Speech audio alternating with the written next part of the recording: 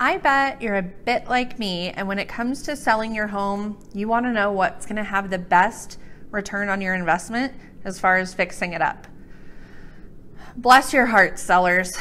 Please, please don't spend a lot of money fixing your home up and making improvements before you talk to me or another great realtor.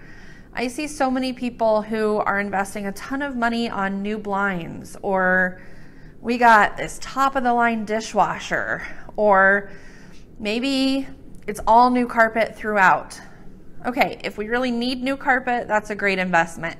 However, sometimes it's worth offering a concession to the buyer to let them pick their own flooring.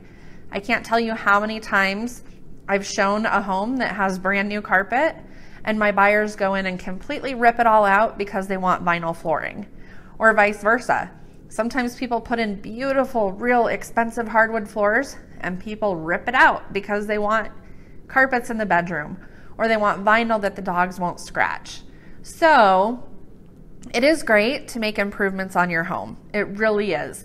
However, if you're prepping your home to sell, there's certain things that are going to be more impactful and have a bigger bang for your buck and return on your investment than some of the stuff I'm seeing happening now. So, if you're looking at selling in the near future or maybe in a couple years and you're thinking of putting money into your home to improve it, to appeal to more buyers, please, please reach out to me first and let's have a conversation. Take care.